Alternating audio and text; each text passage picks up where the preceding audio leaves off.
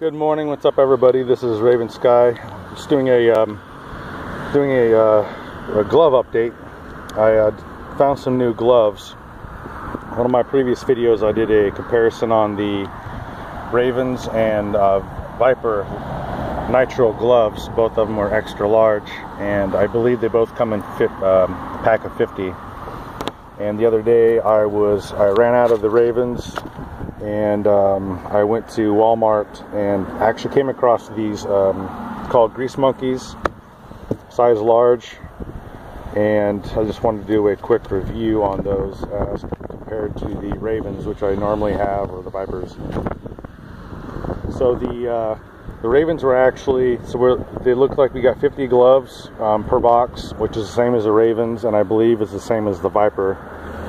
Uh, the the uh, grease monkey gloves I actually like better um, mostly because they got a little bit of a grip on them you can kind of see the grip. A little bit of an alligator skin type of thing or snake skin. Uh, the large size actually fit me better a little bit more form fitting for me. I've got small hands.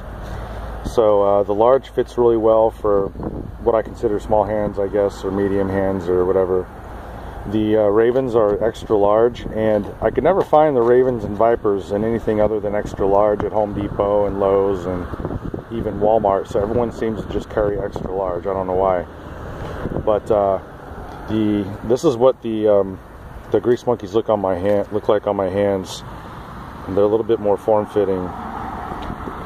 The uh, Ravens, you can tell there's a little bit more play in here. Uh, they were they they both um, they both work really well. They're both water um, water resistant, uh, except for the Grease Monkey's got the uh, the snake skin grip on it.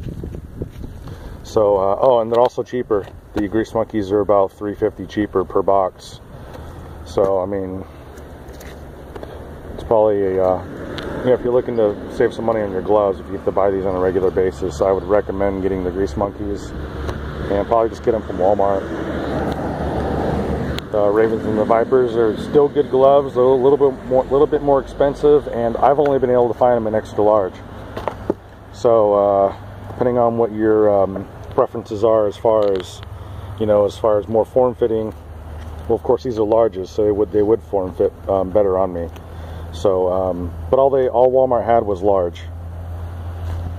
So I don't know if they carry other uh, sizes or whatnot, but that's what they had. So for now, I'm just gonna uh, probably use these grease monkey gloves.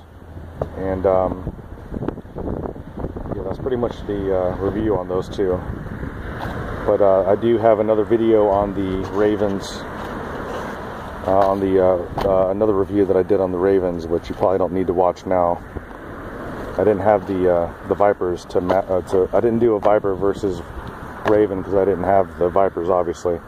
So anyways I'm rambling at this point all right, so I'm just doing a quick update. Um, the uh, drip system's coming along okay. We're gonna make some modifications to it, and um, once I get further down the, once I get further into the setup, um, I'll uh, do a little bit more in-depth review on how I, you know, the why I set it up the way I did and kind of how we're doing it. It's a little bit different from the first drip system that we did. Actually, it's a lot different. Uh, other than that, that's what that is. Oh, and then the the plants that we have over here, we are going to start transplanting these today. And we're going to be taking three plants, um, and we're going to transplant three plants per per bucket, and I think they're 15 gallon buckets, which makes sense. So three of those should fit pretty well in the uh, 15 gallon bucket. And uh, that's the latest and greatest from Keystone Farm Gardens. If you uh, if you like what I'm doing here, just like and subscribe, or at least give me a like. You don't have to subscribe if you don't want to, but it'd be nice. I appreciate everyone stopping by. This is Raven Sky. Peace out.